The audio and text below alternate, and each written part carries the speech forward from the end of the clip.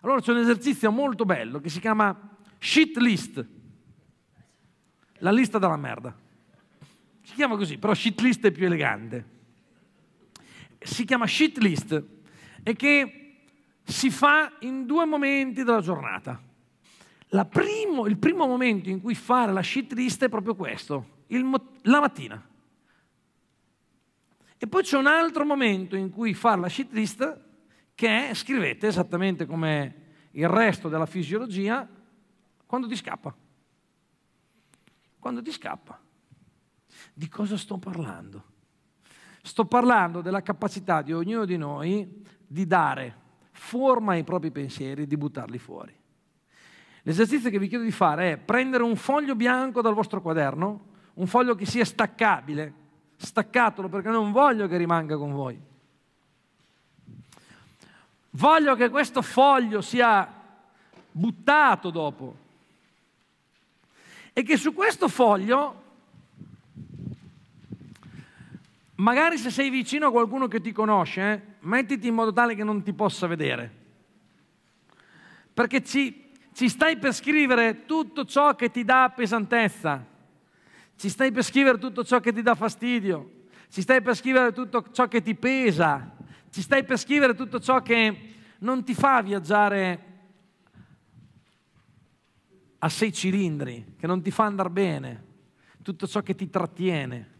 Allora, su quel foglio, per favore, mettici nomi, fatti, situazioni, tutto ciò che non è risolto nella tua vita che siano nomi di persone, che siano contenziosi in atto, che siano robe che ti girano nel cervello. Provate a pensarci, ancora non iniziamo, eh, vi guido, poi lo facciamo insieme. Provate a pensare, anche il nostro computer ce lo insegna. Quando è troppo pieno, che cosa succede? Rallenta. Con, con, con, il telefonino oggi, provate a pensarci, quando a un certo punto, ed è incredibile, avete visto che ogni due anni raddoppiano le capacità dei telefonini, ma sono sempre pieni? Ma quando inizia a essere pieno, cosa fa questo telefonino? Rallenta, non ti salva più le cose, non funziona più. Noi esseri umani siamo fatti uguali, scrivete quando siamo pieni di merda, non funzioniamo più. E lascia stare che a un certo punto hai imparato a conviverci. È vero, a un certo punto non senti più neanche l'odore. Questo non significa che non si possano pulire, non si possa buttare nel cestino qualcosa, che, non, che il telefono non possa tornare ad andare meglio a riappropriarsi delle sue potenzialità, noi. E vi devo dire che in questo momento storico io vedo che tutto quello che è accaduto ci ha riempito di più, perché siamo pieni di preoccupazioni, di frustrazioni, siamo pieni di rimorsi, di, di, di rammarichi per non aver capito prima meglio e non ci rendiamo conto che invece oggi possiamo incidere.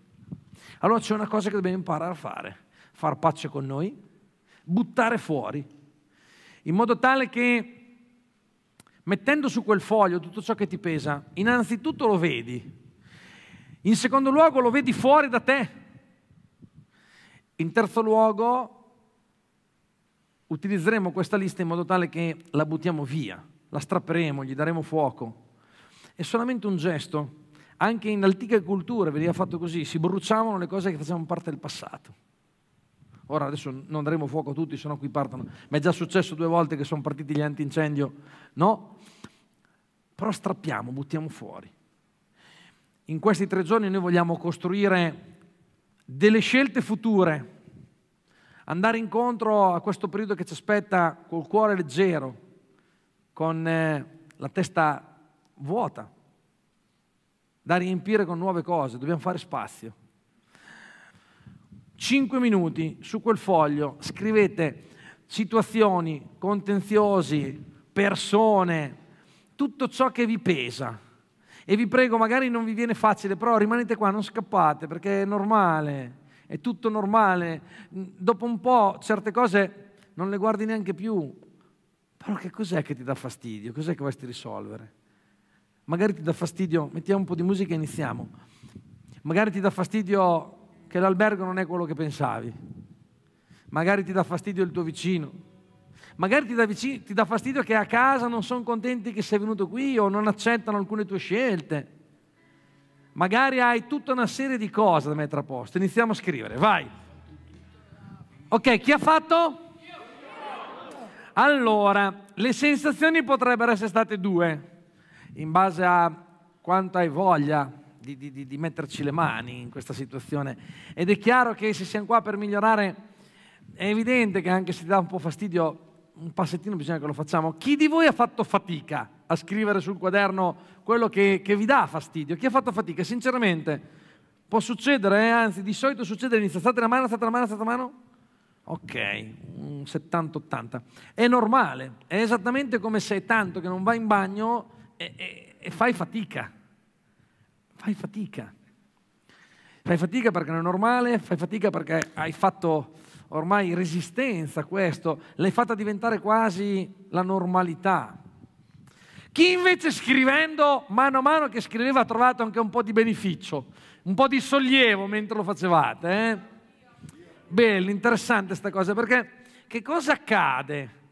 Che, che, che ti svuoti, che ti liberi, oppure facendo una metafora con quello che può accadere nel nostro corpo, queste sono tutte situazioni che possono essere equivalenti emotivamente a ciò che può accadere muscolarmente. Quando c'è qualcosa che non va nei tuoi muscoli, magari hai una contrattura, uno stiramento, se ci lavori sopra, che vai a scioglierlo, vai dal massaggiatore, magari ti fa un po' dolore, ma poi ti trovi meglio, stai meglio. Ed è esattamente la stessa cosa, avere la capacità di lavorarci sopra, di scrivere. Ecco, questo concetto dello scrivere ci accompagnerà un sacco, perché finché le cose rimangono qua, volano, viaggiano. Quando noi iniziamo a mettere su carta, invece gli diamo forma. Ovviamente noi vogliamo dar forma a questo, ma vogliamo anche liberarcene. L'esercizio non si conclude semplicemente scrivendo. Adesso dobbiamo strappare. Insieme, aspettate. Vi dico quello che facciamo adesso. Strappiamo insieme. Dopo che abbiamo strappato, siccome io non voglio che, va bene che l'hai sminuzzata, ma non voglio il sacchettino di qui, la prendiamo e la buttiamo fuori. Usciamo tutti insieme, la buttiamo fuori, proprio fuori dall'albergo. Se potete, anzi, fuori da San Marino. Prendete... No, sto scherzando. fuori dalla sala, fuori dall'albergo, torniamo in sala e senza quel peso lì, quando rientriamo da là, rientriamo avendo lasciato il nostro sacchettino di cose fuori. Tanto lo sapete benissimo che quando poi tornate a casa, se volete, ve le riprendete tutte. Non ve le ruba nessuno.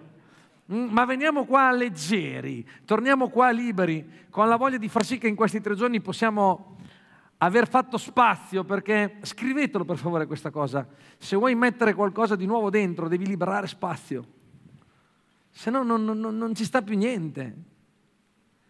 Allora con questa voglia, con questo desiderio, torniamo in sala, quello di chi ha fatto spazio e ha voglia di metterci del buono, del bello, di qualcosa che ci può essere d'aiuto. Al mio tre strappiamo insieme, eh? Potete strappare anche con un po' di, cioè, come dico, vaffanculo, cioè, perché io non sono sta roba qua. Cioè, avete presente quando la guardi e dici, cazzo? No? Ecco, uguale, così. Bravissimi. Al mio tre, strappate. Un, due, tre. Ancora. Ancora. Ancora. Ancora, dai, adesso datela al vicino. No, scherzo, scherzo. Adesso uscite, leggeri, buttate fuori, caffè e ci vediamo fra 20 minuti. Vai!